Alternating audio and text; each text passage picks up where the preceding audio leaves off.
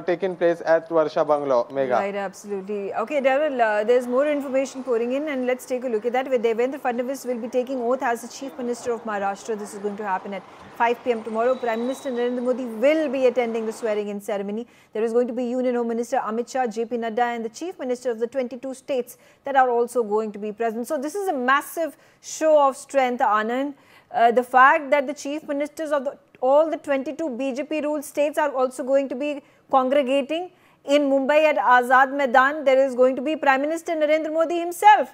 This showcases the kind of focus that Maharashtra gains. 288 of those seats, maximum of them have been won by the BJP. So BJP has been able to once again establish its dominance in this big state. Dominance in Maharashtra and obviously the BJP won 122 seats out of the 149 seats it contested.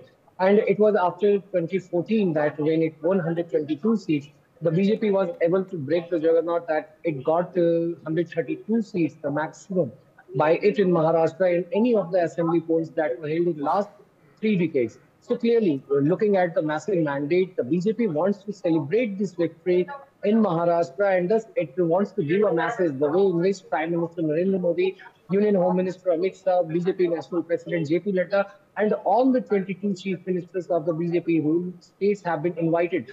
And if we talk about the Azad Maidan, it has got the capacity of around 40,000 people over there. So uh, BJP has also prepared a separate uh, a separate platform for the uh, religious people who will uh, the swearing in ceremony tomorrow. And thus, uh, it will be a massive Yes, absolutely. A, a huge show of strength. You know, 22 of those 27 states that at this point of time are ruled by the BJP.